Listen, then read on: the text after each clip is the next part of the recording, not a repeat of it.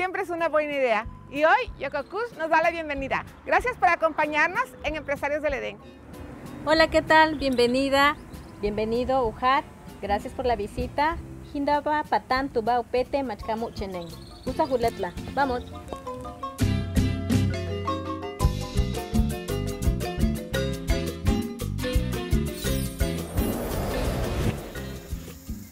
Por acompañarnos. Le doy las gracias también a Vianey Rodríguez por invitarnos a estar aquí en este lugar tan maravilloso. Cuéntame, ¿dónde estamos, Vianey? Cachidane, tusa julecheda. Te dije en Yocotán, ¿cómo estás? Bienvenido. Es mi lengua Yocotán. Este, estás en Tucta, Nacajuca, en territorio maya. Estás en Yococush, sabor ancestral, Yococu Sabor Ancestral es un proyecto gastronómico, cultural y turístico. ¿Y qué buscamos? ¿Qué queremos? Visibilizar nuestra lengua, rescatar nuestras raíces, ayudar a aquel que hace trabajos en artesanía, el que hace bellas artes, porque aquí se presentan eh, libros en lengua originaria, se presentan este, danzas prehispánicas, eh, vienen artistas que hacen obras plásticas y bueno, somos un proyecto que busca visibilizar el trabajo que hace nuestra gente, nuestra gente de Nacajuca y de Tabasco porque hay mucho talento, mucho talento. Eh, Yokokush como proyecto busca rescatar los sabores ancestrales. Queremos compartirla al mundo. ¿Cómo ves? Yokokush, ¿cuándo empezó? Cuéntame. Bueno, Yokokush Sabor Ancestral inició en el 2021, febrero 2021, apenas... Pandemia, ¿no? En plena pandemia y después de dos inundaciones. Eh, tenemos aperturado al público apenas un año y tres meses exactamente. ¿Y qué crees? Que Culinaria Mexicana en menos de seis meses escribió sobre nosotros como uno de los cinco restaurantes que está rescatando las raíces indígenas. ¿Por qué? Porque estamos visibilizando nuestra lengua. La mayoría de nuestra gente sabe hablar la lengua originaria nativa. La mayoría de nosotros somos indígenas. Estamos orgullosos yo estoy orgullosa de mis raíces y pues también buscamos hacer conciencia, hacer conciencia con los jóvenes de que no tenemos por qué sentirnos eh, eh, ahora sí que menos ante nadie. Al contrario, tenemos que estar orgullosos de lo que somos y porque nosotros tenemos mucha riqueza cultural, mucha riqueza eh, con bellas artes, y la verdad que necesitaban o necesitan espacio los, artistas, los nuevos artistas, donde exponer el trabajo que hacen. Y pues, ¿qué crees? Yokoku Sabor Ancestral es un espacio para todo aquel que busque visibilizar su trabajo. Y también ven crecimiento, ¿verdad? Porque esto que tenemos aquí atrás es otro proyecto también de Yokoku. Así es, eh, afortunadamente eh, llevamos poco tiempo al público, pero los que han venido, eh, han venido muchos extranjeros, han venido alemanes, han venido norteamericanos, han venido europeos este, de España, Alemania, Holanda, en Sudamérica, los argentinos, de diferentes partes del mundo y también los nacionales de Monterrey, Guadalajara, este, Zacatecas y ven el proyecto y siempre nos habían dicho o nos, nos, preguntan, ¿dónde puedo hospedarme? ¿Dónde puedo quedarme? Porque me gustaría conocer estas comunidades. Estas comunidades, este, esta parte es la zona 1 de Nacajuca, donde eh, todos los pueblos son indígenas, orgullosamente, y todos los pueblos tienen este, talento, su gente tiene talento, nuestra gente aquel que hace eh, el tejido de fibra vegetal, aquel que hace el labrado de hueso, el que hace eh, cerámica, el que hace escultura, el que hace pintura, el que es poeta en lengua originaria. Tenemos mucha riqueza. Entonces tenemos que eh, generar el espacio donde em, visibilizar a esos talentos. Por eso creé este proyecto. ¿Cómo salió el sueño? Cuéntame, ¿cómo fue que te imaginaste crear un espacio así? Bueno, al ver la problemática cultural que existe, eh, tú sabes que eh, para crear, o tú sabes por qué hacen o nacen las empresas, por ideas grandiosas. Para solucionar problemas. Entonces, encontré la problemática cultural que existe de que no hay identidad. Uno de los principales problemas, ¿no? Importantes es de que, y desafortunadamente, no hay identidad. Eh, no queremos este, sentirnos orgullosos de lo que somos, nos avergonzamos o a veces eh, los que tienen un poquito eh, de estudios como que siempre se, sienten, más y nos quieren sentir menos. Y entonces, eh, como mujer indígena que soy, a mí me ha costado mucho. Me ha costado mucho levantar la cabeza y decir, aquí estoy. Porque tal parece que como soy mujer y como soy indígena, tengo que ver el piso siempre y decir, sí, siempre. Entonces, este, como mujer indígena, también busco hacer conciencia con las mujeres de que sí podemos salir adelante, pero el, proyecto, o más bien para lograr el éxito, tenemos que abrir nuestras alas y volar. volar. Y mundo, aquí voy. Excelente. ¿Qué te parece si nos enseñas un poquito más de lo que tienes aquí? Claro que sí, claro que sí. Bueno.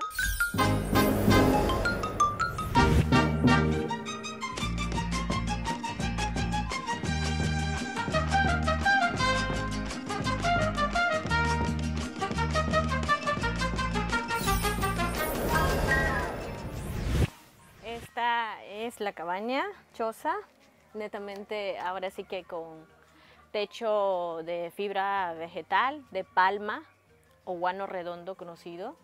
La puerta es de carrizo, que abunda mucho en los pantanos. Y también el jaguacte. Como ves, el jaguacte es nativo de aquí.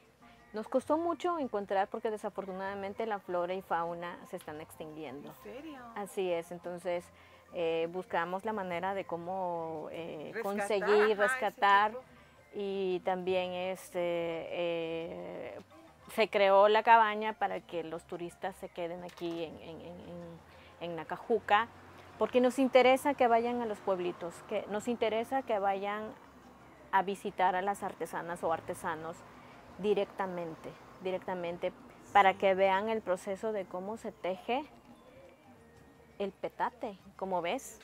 Y acá también tienes todo, ¿no? Lo de una cama. Esta cama, bueno, como ven, mi sobrecama es petate. Es hecho aquí en Nacajuca.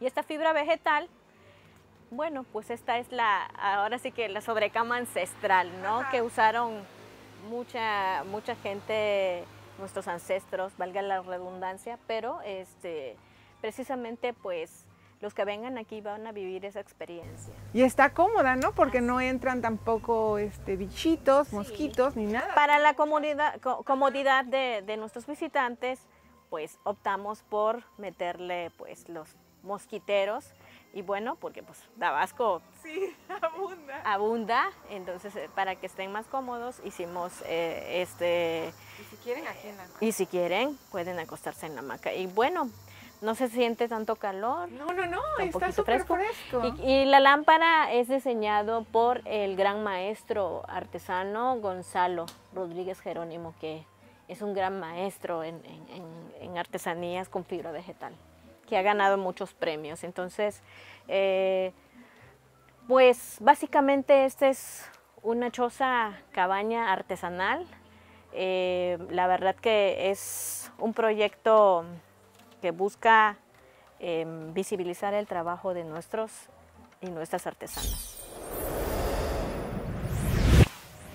Cuéntame, Vianey, ¿este lugar es de las artesanas que tú apoyas? Así es, eh, te decía hace rato que este proyecto busca apoyar a las artesanas, a las manos mágicas que hay en Nacajuca, pues como ven aquí, vienen a vender sus productos directamente sin intermediario. Y también eh, ellas como mujeres les estamos eh, ahora sí que haciendo, ahora sí que invitarlas a abrir sus alas, que vuelen con la creatividad, que, con toda la creatividad que hacen. Te quiero decir que, que Magali, ella, ella es una artesana joven que hace estas maravillas. Ella me hizo este bordado y como ves está bien hecho, mira, todo el acabado. Y bueno, ella es una mujer con mucho talento, como ella, como las grandes artesanas que vemos aquí que, buscan más que nada apoyar así a sus familias, de sustentar a su familia. Y bueno, nos interesa que, que los visitantes, que nuestros turistas nacionales e internacionales vayan a sus talleres y compren los productos directamente sin intermediario, porque tienen, tienen talento y eso es lo que quiero, visibilizar a las mujeres con mucho talento porque quieren salir adelante. Necesitamos que ellas abran sus alas, necesitamos que, que crean en su talento porque todas entramos. Aquí lo más importante es hacer sororidad, es decirle, vamos, todas juntas, todas juntas porque el mundo es muy grande y entramos todos. Y, y Yokoku Sabor Ancestral piensa en hacer comunidades sustentables, en ayudar siempre a la gente que trabaja, que quiere salir adelante con su trabajo, con el talento que tienen. Y aquí hay que hacerlas creer, hay que abrirles las alas, hay que decirles, sí se puede, porque si yo pude, que soy una mujer indígena, que amo mis raíces, todas podemos, ¿verdad que sí? Todas podemos salir adelante. Entonces, eso es, esa es la invitación. ¿Nos, ¿Nos invitas al restaurante? Claro que sí.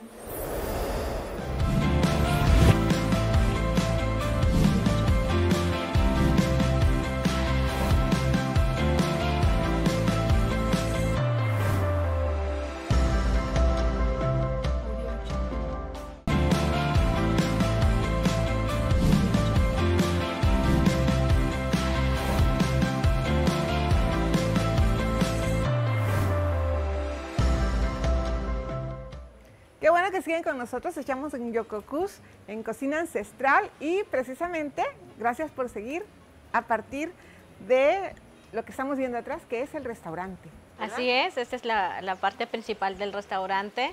Eh, Yokoku Sabor Ancestral busca también eh, consumir local, ayudar a nuestros artesanos que hacen fibra vegetal. Como, como ustedes ven, eh, pues el techado está hecho con fibra vegetal que se llama junco y bueno, que abunda mucho en los pantanos. Entonces, eh, estamos eh, ahora sí que invitando a la población que consuma local, pero nosotros tenemos que dar el ejemplo. Y también, como ves, las sillas eh, están hechos aquí en, Nacajuca por un carpintero este, que es muy bueno en lo que hace tenemos obras de arte, tenemos eh, labrados de tallado en hueso. Y la cocina también, ¿verdad? Las recetas son también de la cultura de Yocotán. Eh, ahora sí, de la cultura Yocotán. Eh, estamos rescatando los sabores como por ejemplo el uliche. El uliche que es, es un caldo gastronómico que está hecho a base de maíz nixtamalizado con proteína de pavo, con este polvo de pipián. También aquí vas a encontrar en Yokoku Sabor Ancestral el guarapo, guarapo prehispánico. El guarapo prehispánico es la bebida alcohólica de nuestros pueblos indígenas. Está hecho a base de palo borracho con un poco de eh, piloncillo.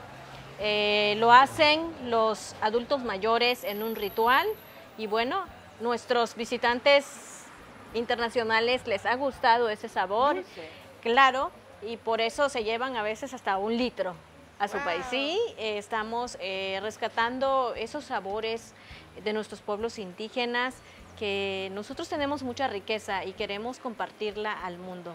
Por eso nació este proyecto. ¿Cuánta gente trabaja contigo? 25 colaboradores más los artesanas, los artesanos y las artesanas que vienen a, vender sus productos directamente sin intermediario. Es, ahora sí que es un proyecto, les vuelvo a mencionar que busca visibilizar a la gente que tiene ese gusto de trabajar, ese talento. Y quiero decirte que este proyecto está hecho con recursos propios. Es una iniciativa privada, es ahora sí que es un esfuerzo que nació en plena pandemia, eh, pero buscamos más que nada generar empleo, buscamos rescatar nuestras raíces, buscamos eh, concientizar a, a, a la población, a nuestras mujeres, a nuestros hombres, que si tienen una idea, Se crean en su, en su, idea, crean en su idea, arriesguense, porque si yo pude, tú también puedes. Pero esto no se acaba aquí, ¿verdad? Porque también tienes un colectivo para estos artesanos. ¿Podríamos verlo? Claro que sí. Vamos al Centro Cultural Yocotán. Peje lagarto y pochitoque. Pozol. Esto es para mi gente tabasqueña.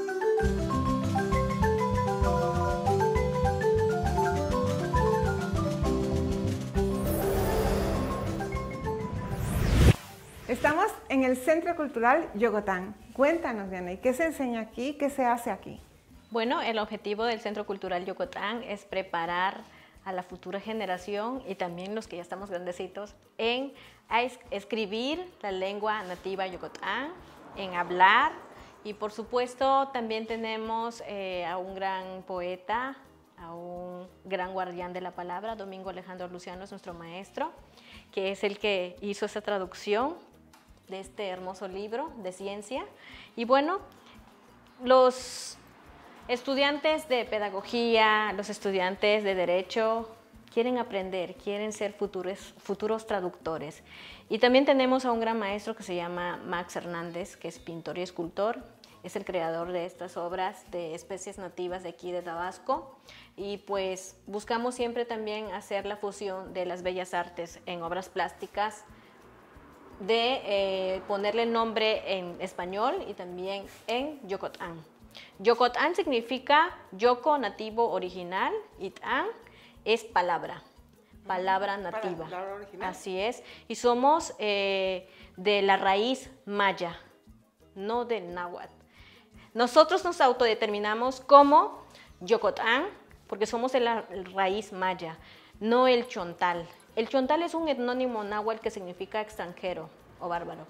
En, los, en, el tiempo mesoamericano, cuando llegaron los aztecas a conquistar estas tierras, como no éramos de su misma tribu, entonces nos llamaron chontal, los chontales, porque no hablábamos su misma lengua. Entonces, popularmente y culturalmente, eh, somos conocidos como los chontales de Tabasco, pero nos gusta que nos llamen los yocotán, los yocotanes, porque nosotros hablamos la palabra nativa verdadera y somos de la raíz maya, no somos náhuatl.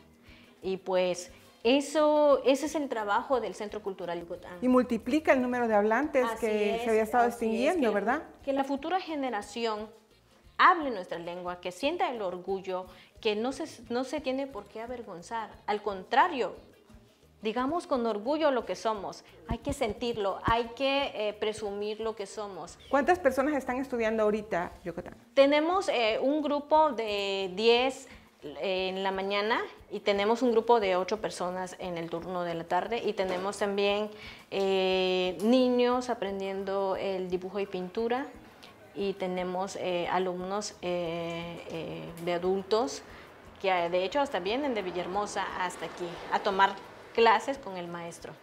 Gracias. ¿Nos enseñas un poquito más? Claro que sí.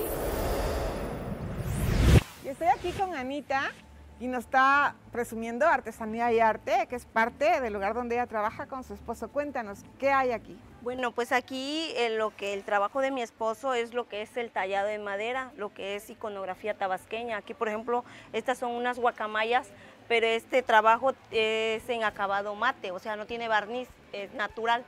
Se pueden hacer igual de colores, así como esto, que es un perico ya con color, pues.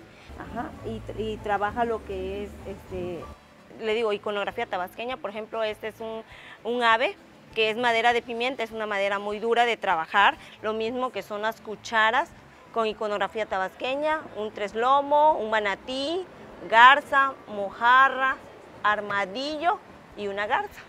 Esas son las cucharas que se utilizan para el pozol. Y, estas paletitas son para el dulce. Sí. ¿Y estas las haces tú? Eh, ándale, esto por ejemplo, lo que es las tiras bordadas es lo que yo elaboro, lo que son toallitas, blusas, estos por ejemplo mantelitos, que son bordados igual acá. Mm, bueno, es, ándale, se hace de tulipanes, girasoles, de lo que el cliente pida. Igual lo que ahorita, por ejemplo, estoy trabajando, lo que son los top, son los top, que esto es totalmente todo hecho a mano, el tejido y lo que es el bordado. Entonces también eso estamos trabajando. Nosotros también trabajamos lo que es, este por ejemplo es hueso de res, este es por ejemplo una concha de almeja pulida y ya totalmente, este, ¿cómo se llama? Convertida en un collar. Trabajamos, trabajamos lo que es jícara, madera, este, hueso, le repito, este, pues es lo, que nosotros trabajamos, miniatura, grecas, que es lo que también manejamos mucho nosotros. Gracias, Anita, de Artesanía y Arte.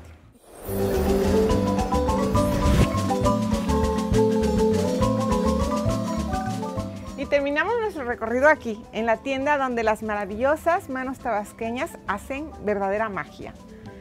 Yo quisiera, si nos dieras, Vianney, el último mensaje, el mensaje para los jóvenes emprendedores, para los estudiantes, para los egresados, para que también tengan oportunidad de emprender y empezar su propio negocio. Claro que sí, a ti joven, a ti mujer, te invito a que abras tus alas, extiende tus alas, vuela, alcanza esa cima que todos podemos alcanzar.